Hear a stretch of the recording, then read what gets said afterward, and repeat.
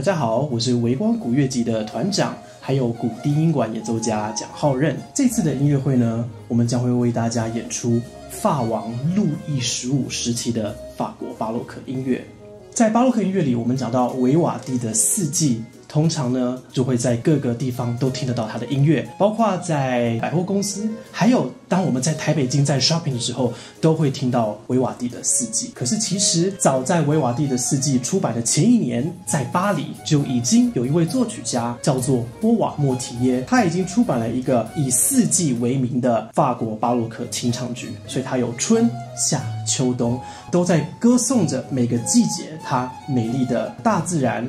还有不同季节的风味。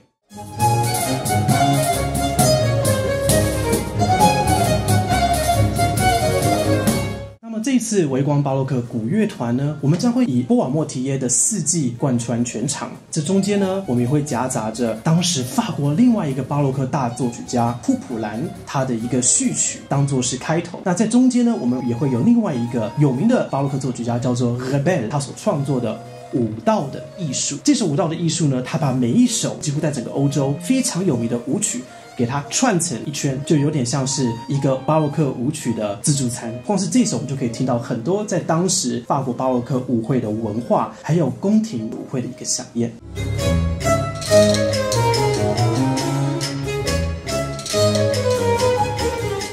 场音乐会呢，我们请来了非常多活跃于欧洲，还有也在台湾生根发展古乐的演奏家们，包括我，也就是巴洛克低音管，还有呢，我们的乐团的首席大夏师央，他会拉奏巴洛克小提琴，同时还有大键琴家须藤真弟子，还有呢，历史低音提琴演奏家跟维奥尔琴演奏家杨俊元，还有巴洛克双簧管家张端庭，巴洛克长笛家。马玉，还有木笛家梁义章跟历史打击乐演奏家王维，这次法国巴洛克清唱剧的女主角，也就是女高音黄丽锦老师，她将会担任春夏秋冬每一首咏叹调的主角。